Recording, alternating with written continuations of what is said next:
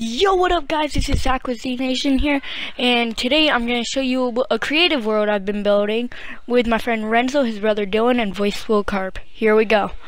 So that island I'm going to show you in a bit due to the cloud going through it, and this is my first build right here.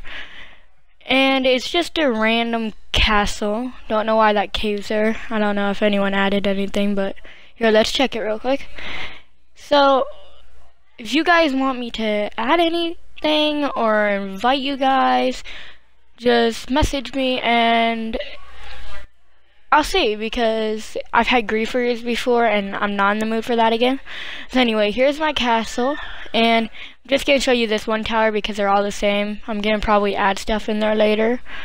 But here's like the wall and stuff. Second creation I built was this is just a random um, island and a farm. Me and one of my friends built, well, my friend who joined built that. It's like a checker game.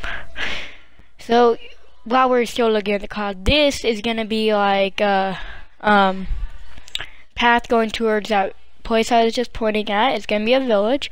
So real quick, while there's no cloud in it for a minute. Um, here's this third island I ever built, and I kind of like it. Um, yeah, I did the interior. Um, and Renzo and his brother Dylan built that. Down here get, was built by those two, and we haven't furnished them yet. Like this one is like the only one furnished. We're gonna furnish later on in the game, but yeah. So he, Renzo built the well, and this is my house I built. They they do the roofs because it looks real good.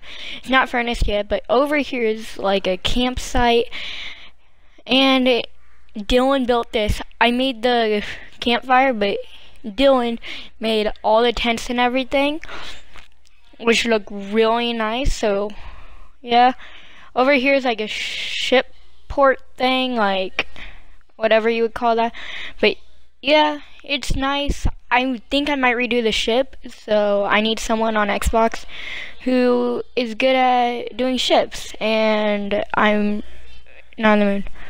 I don't know how that happened, but that room's not furnished yet. We'll furnish it after this, and over here has been furnished by me, and Renzo built that house. So up here, the three of us worked on. It's just like a little desert biome kind of thing, and way over there is like a jungle biome, I could say, that we're gonna build like a house. Anyway, thanks for watching, guys.